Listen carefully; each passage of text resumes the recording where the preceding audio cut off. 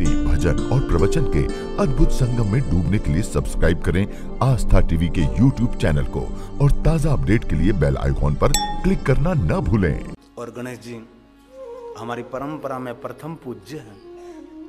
सभी देवताओं की पूजा करते हैं और शंकर पार्वती की पूजा करें, इससे पहले हम गणेश जी की पूजा करते हैं। और हमारे सबके घर में भगवान गणेश जी रहते हैं। किसी का घर ऐसा नहीं होता जिनके घर में गणेश न हो। लेकिन कोई कोई विचारधारा ऐसी भी निकले हैं, घर में गणेश नहीं रखते। ये बहुत गलत है। ये सनातन की परंपरा में पंचायत पूजा है। एक है शिव शिव का अर्थ क्या है? सबका कल्याण, शत्रुओं का भी कल्याण। और एक पूजा है, शक्ति। अपने शक्ति के बल पर सबकी रक्षा करो। यह है शक्ति पूजा।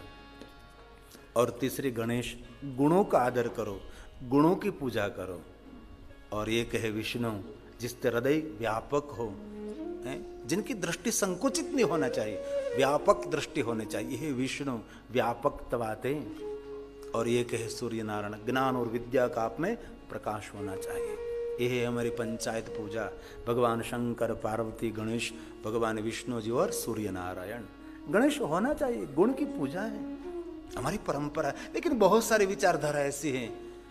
अपने घर में से गणेश को दूर कर दिया है। कभी गणेश को दूर नहीं करना चाहिए। हमारी परंपरा है। और एक बात कहूँ, रोज दो काम करो। और स्तोत्र, कंठस्थ, मुखपाठ न हो सके। एक रोज द्वादश ज्योतिर्लिंग को याद करें। सौराष्ट्र से लेकर घोषमेश्वर तक बारह ज्योतिर्लिंग रोज याद करो। एक स्तोत्र उसका। और दूसरा, द्वादश गणेश, प्रणम्यम शीर्षा देव गौरी पुत्र, विनायक, लेकर पूरा स्तोत्र है। दोनों स्तोत्र बस सुबह में भी और शाम को भी। और ज़्यादा ना हो सके। बहुत हो सके तो बहुत अच्छी बात है, लेकिन बहुत साधना, अनुष्ठान, उपासना, व्रत, व्रतादि कैसे हम करें? क्योंकि बहुत संसार की जवाबदारी है। सब कुछ हम नहीं कर सकते। लेकिन एक गणेश और एक शंकर जी, द्वादश स्तोत्र और द्वादश ज्योतिर्लिंग स्तोत्र, दोनों ज़रूर। अरे घर में गणेश जी ज़रूर रखे यार। मैं संप्रदाय का तो नाम नहीं देता, लेकिन ये अच्छा नहीं लगता। आपके भक्तों के घर में से गणेश जी को भी दूर करा देते आप। ये कभी नहीं, ऐसा नहीं। गणेश रखना ही चाहिए।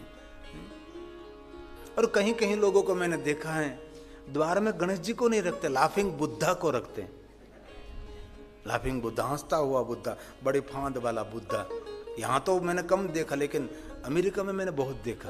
और कहीं कहीं इंग्लैंड की धरती पर मैंने बहुत देखा। आँगन में लाफिंग बुद्धा हमारी परंपरा क्या है, द्वार पर हम गणेश रखते हैं। द्वार पर हम गणेश रखते हैं। गणेश जी की प्रतिमा रखते हैं, है? उदारता, विशालता, ज्ञान, सूक्ष्म दृष्टि सुनने वाला गणेश जी का अद्भुत पात्र है। इसमें गुण भरे हुए हैं, ये गणेश जी है।